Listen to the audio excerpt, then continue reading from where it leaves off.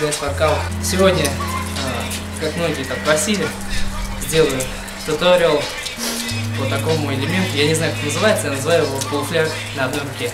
Он выглядит так.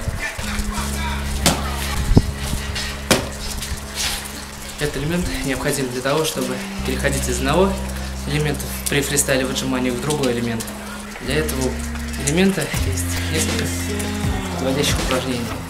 Вы не бойтесь, для этого элемента не надо иметь большую гибкость или там мега прыгучесть. Делается на раз-два.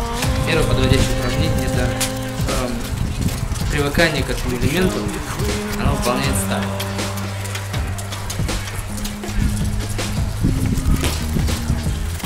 Второе упражнение это попытка начального перескока. Оно делается не через верх, а через бок.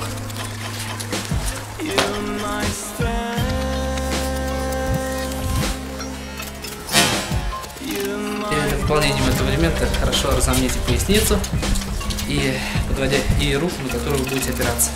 А после того, как вы уже умеете делать через бок, вам остается только поворачивать плечо, которое вы опираетесь, и э, посильнее отталкиваться ногами.